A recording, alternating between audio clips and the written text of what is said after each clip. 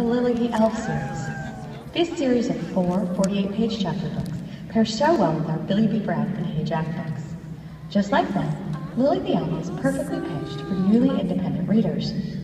Lily finds magic in the everyday, with simple sentence structure, short chapters, black and white illustrations, a large font, and lots of white space, all designed for easy and well-supported linear reading. The Lily books will be here mid-season. Then there's the complete opposite of the linear reader, the bookbuster. Bookbusters love books so much it hurts. For them to hold them, to throw them, to chew on them, to share them, to destroy them. Hello, baby. Hello, baby, day and night.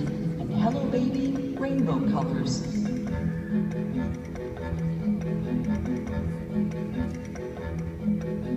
With colorful characters and paired with rattle handles, these cloth concept books for the very young are perfect to chew on.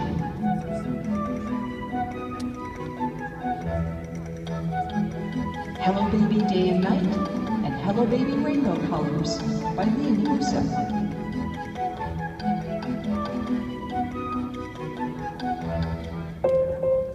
How to feed your cheeky monkey. How to brush your teeth with Snappy Croc. How to bathe your little dinosaur. How to tuck in your sleeping lion.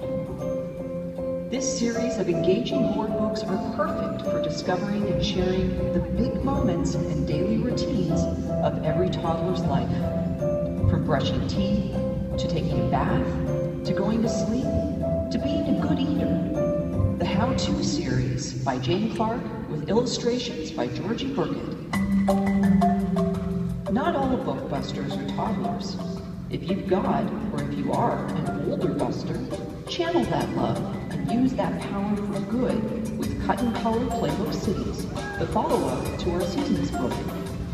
In this book, you create stunning layered paper diorama scenes in Paris, New York, London, and Moscow. With beautiful illustrations by Clea Dieudonné, this amazing coloring plus book helps develop dexterity and scissor skills.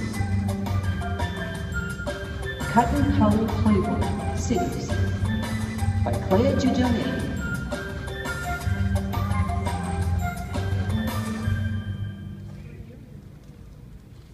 Related to the bookbuster is the Too Busy for Books reader.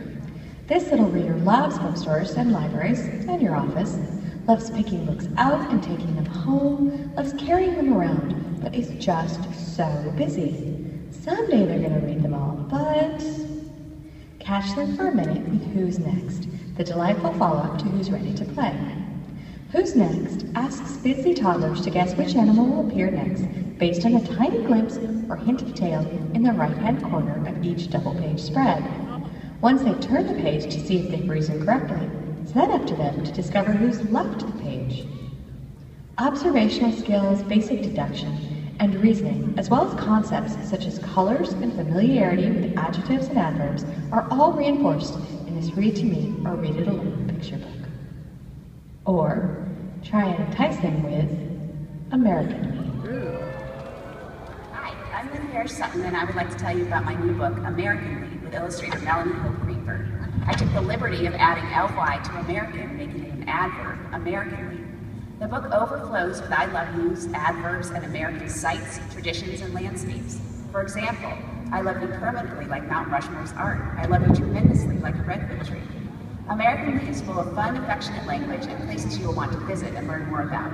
Deserts, mountains, lakes, forests, historic sites, and cities. And of course, there's baseball and apple pie. I hope you will each find places you already love and know well. I had a lot of fun writing and researching Americanly. I got to play around with adverbs and descriptive language and declare some of the many ways I love my family. At the same time, I learned a lot about this vast and beautiful country. Americanly will have an online glossary where you can learn more about the history and geography of the places included in the book. For example, did you know that the biggest sand dunes in the U.S. are actually in Colorado? Or that the Everglades are a wide, slow-moving river? American is illustrated by Melanie Hope Greenberg. Her bright, colorful illustrations beautifully depict our country and highlight the love we feel for our families. Thanks for reading it.